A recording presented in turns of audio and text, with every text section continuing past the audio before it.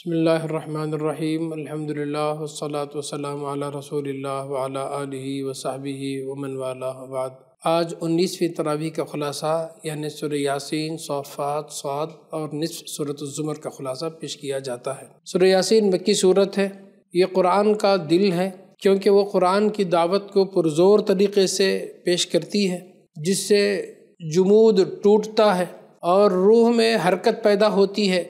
इसका मौजू कुफ़ार क़ुरैश को अल्लाह के नबी सल्लल्लाहु अलैहि वसल्लम की नबूवत पर ईमान न लाने और जुल्म इस्तेजा से उसका मुकाबला करने के अंजाम से डराना है। तोहद और आखिरत पर आसार कायनात, अक़ल आम और ख़ुद इंसान के अपने वजूद से इस्तलाल किया गया है। आ हज़रत सल्लल्लाहु अलैहि वसल्लम को तसल्ली कि ये पुरहकमत कुरान ख़ुद इस बात की सबसे बड़ी शहादत है कि आप अल्लाह के रसूल हैं और लोगों को सिरात मुस्तकीम की तरफ़ दावत दे रहे हैं। ये कुरान खुदाए अज़ीज़ और रहीम की तरफ़ से उन लोगों पर एक अजीम एहसान है जो अब तक खुदा की तालीम व हिदायत से बिल्कुल महरूम और जलालत में भटक रहे थे। ये महज उनकी बदकस्मती है कि वो तकबर और गुरूर के सबब उसको झुटला रहे हैं और इससे कोई सबक नहीं ले रहे हैं। जो खुदा से डरें और नसीहत को सुने, उनको मगफ़रत और अजर अज़ीम की बशारत दीजिए। जो नहीं सुनते, उनका मामला अल्लाह के हवाले कर दीजिए। कुरैश की इबरत के लिए एक बस्ती की मिसाल पेश की गई, जिसके बाशिंदों को डराने के लिए अल्लाह ने दो रसूल भेजे। जब उन्होंने उनकी नहीं सुनी तो फिर अल्लाह ने एक तीसरे बंदे को रसूलों की तायद के लिए भेजा। लेकिन उन्होंने उसकी भी परवाह नहीं की तो उनकी तंबी के लिए इस दौरान में जो निशानियाँ ज़ाहिर हुई, लोगों ने उनको, उन रसूलों की नहूसत करार दिया और इस जुर्म में उनको संसार कर देने की धमकी दी। बिलाखिर अल्लाह ने अपने अजाब से उस बस्ती को हलाक कर दिया। इस कायनात में खुदा की कुदरत हमत रहमत और परवरदिगारी की जो निशानियाँ हैं, उनमें से बाज़ की तरफ़ इशारा किया गया कि उन लोगों के लिए बेजान ज़मीन एक निशानी है कि हमने उसको ज़िंदगी बख्शी और इससे गल्ला निकाला जिसे ये खाते हैं। खजूर और अंगूर के बाग पैदा किए और उसके अंदर चश्मे फोड़ निकाले ताकि ये उसके फल खाएँ। जुमला अकसाम के जोड़े पैदा किए खा वो ज़मीन के नबातात में से हों या अपने जिन्स नोए इंसानी में हों, या उन अशिया में से जिनको ये जानते तक नहीं हैं। और उनके लिए एक और निशानी रात है। हम उसके ऊपर से दिन हटा देते हैं तो फिर उन पर अंधेरा छा जाता है। और चाँद और सूरज के लिए हमने मंजिलें मुकर कर दी हैं। न सूरज के बस में यह है कि वो चाँद को जा पकड़े और न रात दिन पर सबकत ले जा सकती है। सब एक एक फलक में तैर रहे हैं। उनके लिए ये भी एक निशानी है कि हमने उनकी नस्ल को भरी हुई कश्ती, यानी कश्ती नूह में सवार किया। और फिर उनके लिए वैसी ही कश्तियाँ और पैदा की जिन पर वो सवार होते हैं। हम चाहते तो उनको गर्क कर दें। कोई उनकी फरियाद सुनने वाला नहीं है। बस हमारी रहमत ही है जो उन्हें पार लगाती है और एक ख़ास वक्त तक फ़ायदा उठाने का मौका देती है। ये सारी निशानियाँ अल्लाह के शुक्र को वाजिब करती हैं। जिसका लाजिमी तकाजा तोहद है और साथ ही साथ हशर नशर भी और जजा सज़ा भी। क़ियामत की तस्वीर और मुमिन और मुकज़िबिन के अंजाम की तरफ़ इशारा। आखिर में आ हज़रत अलैहि वसल्लम को तसल्ली कि तुम्हारा काम जिंदों को जगाना है और जो लोग अखलाक़ी एतबार से मुर्दा हो जाएँ, उन पर तुम्हारा कलाम कारगर नहीं हो सकता है। सूरत साफ़ात मक्की सूरत है। इसमें हुजूर सल्लल्लाहु अलैहि वसल्लम की दावत तोहद और आखिरत का जवाब कुफ़ार जिस तमस्खुर और इस्तेजा के साथ दे रहे थे, उन्हें साफ़ खबरदार किया गया कि अन करीब यही पैगंबर जिसका तुम मज़ाक उड़ा रहे हो। तुम्हारे देखते ही देखते तुम पर गालिब आ जाएगा और तुम अल्लाह के लश्कर को अपने सहन में उतरता पाओगे। आगाज़ में बताया गया मलाइका खुदा के हुजूर में हमेशा उसके अहकाम की तामील के लिए हाजिर रहते हैं और उसकी हमद सना बयान करते हैं। वह अपने अमल से शहादत दे रहे हैं कि वो खुदा के नहायत फरमाबरदार और इतात गुज़ार बंदे हैं, ना कि उसके शरीक, जैसा कि नादानों ने समझा है। अल्लाह का क़ुर्ब सिर्फ़ मलाइका को हासिल है जन्ात और शयातीन के रसाई मलाए आला तक नहीं होती है। कुफ़ार को तंबी के साथ साथ तोहद और आखिरत के अक़ीदे की सेहत पर मुख्तसर मगर दिल नशीन दलाइल दिए हैं। मशरकिन के अकायद पर तनकीद करके बताया कि वो कैसी लघु बातों पर ईमान लाए बैठे हैं। उन गुमराहियों के बुरे नतज से आगाह किया गया और ये भी बताया कि ईमान और अमल साल के नतज किस कदर शानदार होते हैं। फिर इस सिलसिले में तारीख़ की मिसालें दी हैं।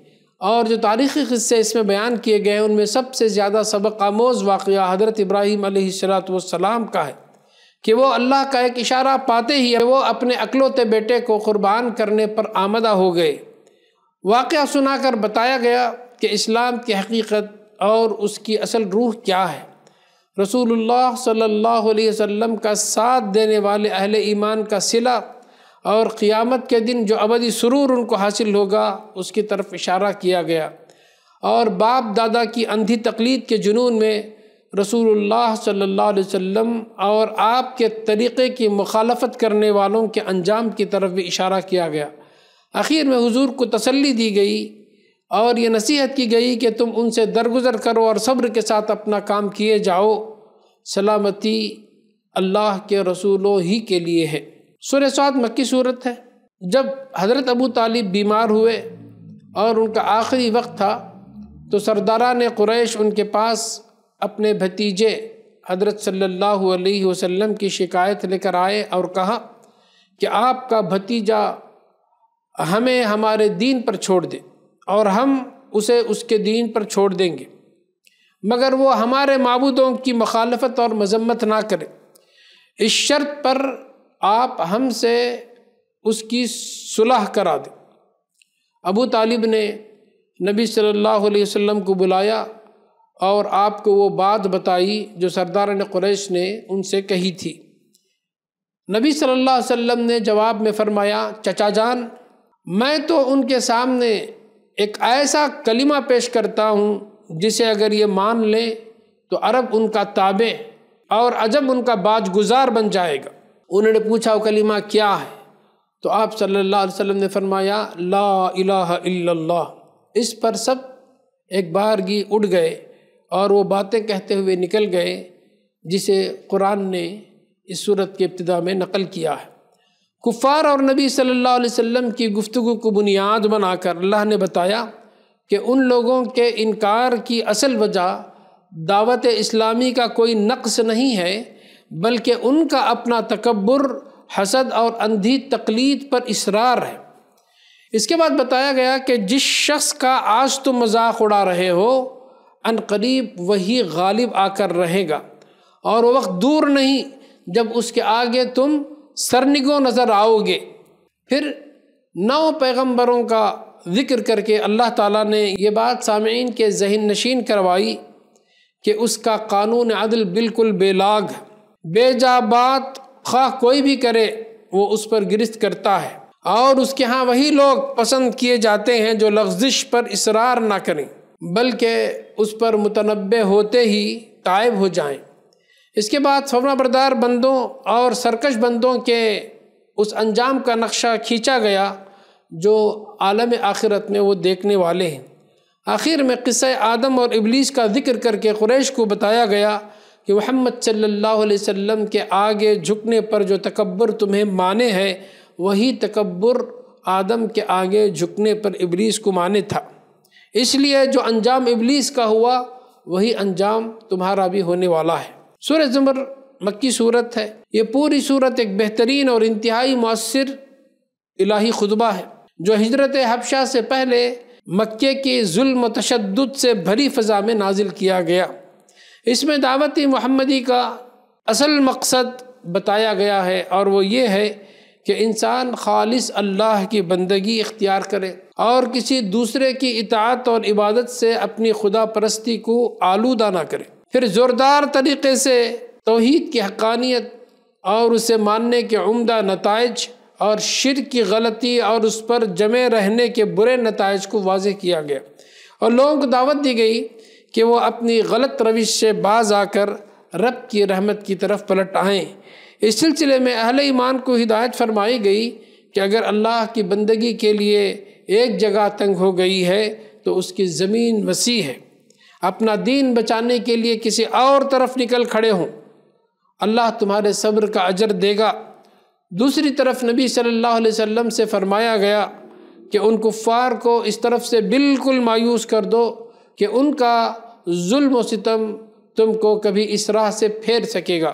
एक गुनहगार, बदकार और एक तहजद गुजार और आखिरत और रज़ाए इलाही का तलबगार। दोनों के अमाल और नतज में ज़मीन आसमान का फ़र्क है, ये बात बताई गई। और फिर बताया कि असल कामयाबी आखिरत की कामयाबी है। असल घाटा और नुकसान भी आखिरत का घाटा और नुकसान है। जो ताबूत से इज्तनाब करे अल्लाह का तकवा और उससे इनाबत इख्तियार करे, उनके लिए जन्नत के बाला खानों में शानदार इस्तकबाल होगा, जिनके नीचे नहरें बह रही होंगी। आखिर में दो ग़ुलामों की मिसाल देकर मुवाहिद और मुशरक के फ़र्क को वाज किया गया कि मुवाहिद की यकसुई, उसका इतमान कल्ब और मुशरक की बेचैनी, हैरानी और परेशानी ऐसी ही है जैसे ये ग़ुलाम जिसके कई आखा हों और सभी बद अखलाक और बदसलूक हो और वो उन सब की इतात पर मजबूर होता है, वो हमेशा हैरान और परेशान रहता है कि किसकी बात माने और किसकी नाफरमानी करे। जबकि ग़ुलाम ऐसा है जिसका सिर्फ़ एक ही आका है, उसी के इशारों पर वो अमल करता है और पुरसकून ज़िंदगी गुजारता है। तो गोया यही हाल एक मुवाहिद का और एक मुशरक का है। इसी पर आयतें ख़त्म होती हैं। बारकल्लाकुम फ़िलकुरानदीम मनफ़ाना वैयाकुम बिलआयात वज़िक्रकीम व आखिर दावाना अलहमदिल्ला रबालमीन वर्का